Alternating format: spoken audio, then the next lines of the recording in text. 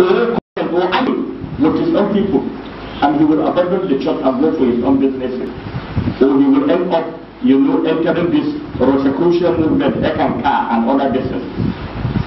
So, in a nutshell, what we are saying is that the theory of the doctrine of uh, what we call, what the Christians call atonement or the original sin, is unscriptural.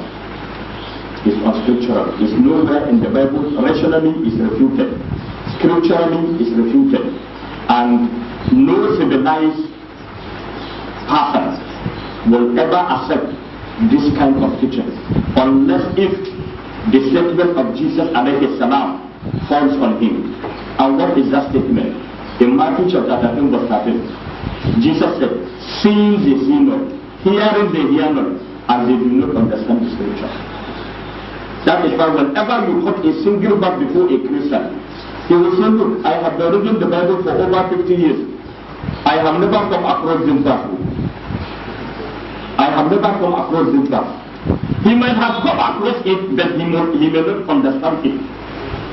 So there are so many things like that. So we are going to stop here, inshallah.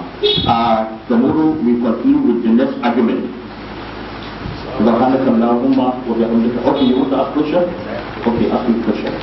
Allah want to protect you, increase your knowledge and wisdom. Um, You mentioned about the concept of salvation in the concept of salvation. is actually based on the fact that Jesus Christ died for the sin.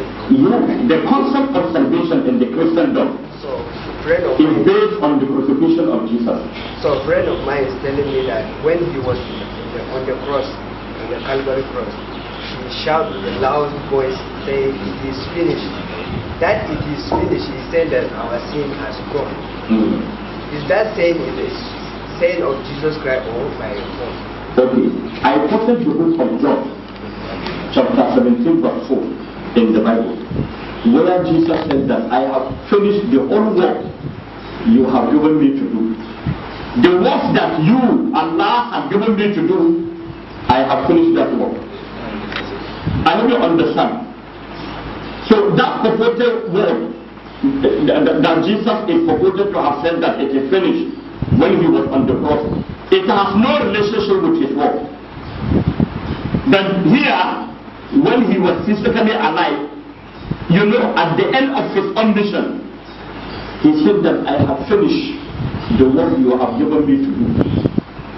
Before his alleged crucifixion, I hope you understand.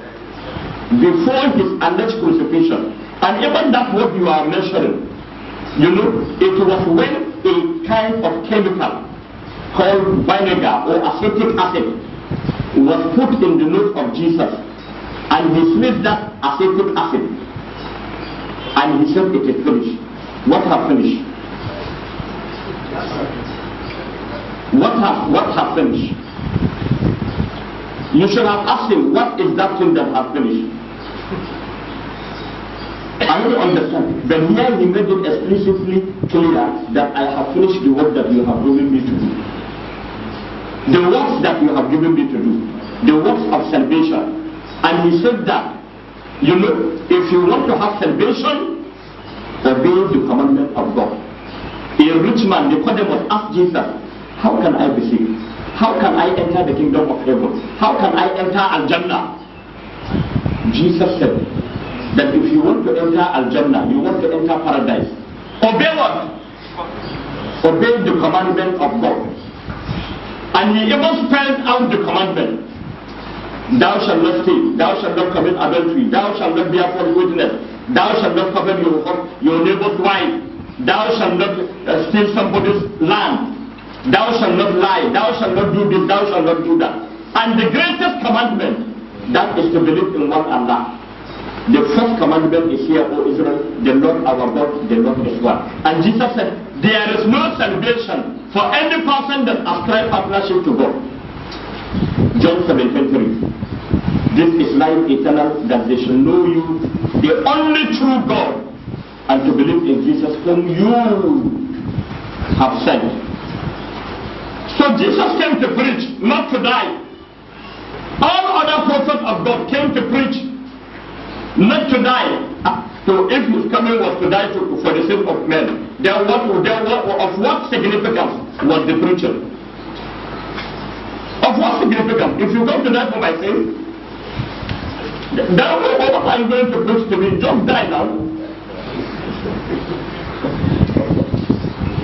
So Alhamdulillah, we thank Allah as our religion Islam is a rational religion. And we are allowed to ask questions to our ulama, to our manners. You will not ask manna any question, and then manna will say, no, don't ask that question, no. Our religion is, there is nothing to hide for our religion. Let the Christians come. Let them come and stay with us to see what we are doing. Sheikh Ahmed Deedat was able to track you know, some members of the Christians that visited him, you know, into the mosque. He taught them how we pray in a comparative style, quoting the Bible, quoting the Quran. He did it practically from ablution, from purification. Even this purification, ritual bath and ablution are all there in the Bible. Janaba, ritual bath is in the book of Leviticus chapter 15 verse 18. Leviticus chapter 15 verse 18 is there. Even if you urinate or you have a carnal knowledge of your wife, you take Janaba, it's mentioned there in the Bible, Leviticus chapter 15 verse 18. Ablution is mentioned in about three different places in the Bible. Exodus chapter 14 verses 30 to 33, Deuteronomy chapter 30 verses 31 to 32, and also the book of John chapter 13 verses 5 to 9. Jesus performed ablution there. There Moses also performed ablution. Whenever we want to enter our mosque, we remove our shoe. Though it is not compulsory that you must remove your shoe. Because we have an authentic hadith justifying praying with shoe.